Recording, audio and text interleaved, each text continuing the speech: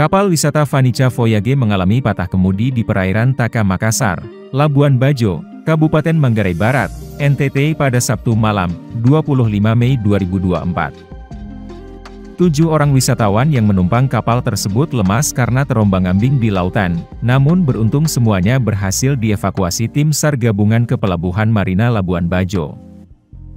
Kepala Basarnas Maumere, Supriyanto Ridwan menuturkan para AKB dan kapten kapal memilih untuk tetap di kapal guna memperbaiki kemudi.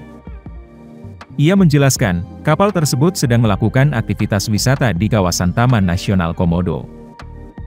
Peristiwa bermula saat pelayaran dari Pulau Padar menuju Pulau Komodo pada pukul 19 Wita. Kala itu kapal mengalami patah kemudi sejam kemudian.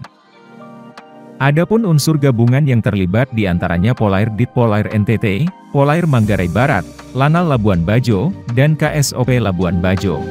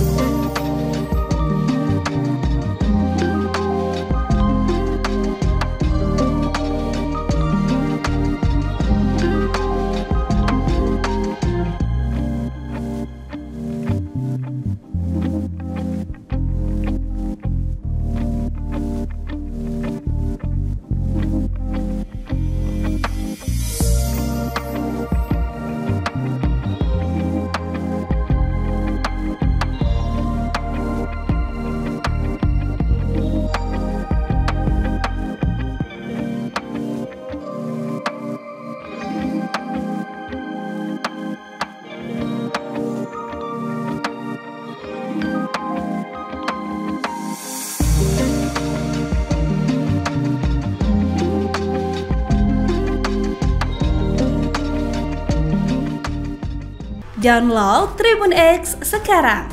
Menghadirkan lokal menjadi Indonesia.